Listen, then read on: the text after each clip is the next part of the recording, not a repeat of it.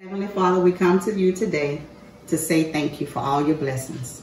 Lord, we come to you today to say we are so appreciative for all you have done by giving us this food to eat.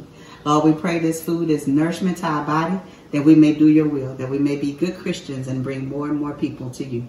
In the name of Jesus, we pray. Amen. Amen.